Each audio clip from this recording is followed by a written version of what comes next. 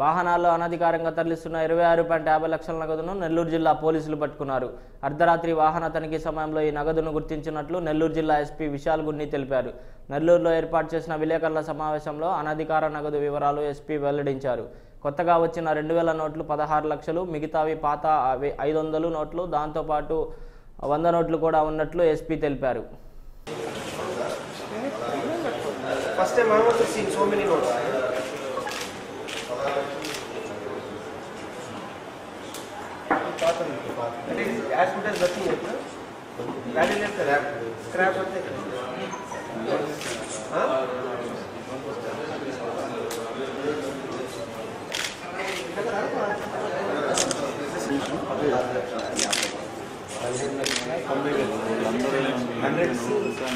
నిన్న నైట్ సుమారు eleven thirty నైట్లో వెహికల్ చెక్కింగ్ చేస్తున్నప్పుడు టోటల్గా Gudur rural circle police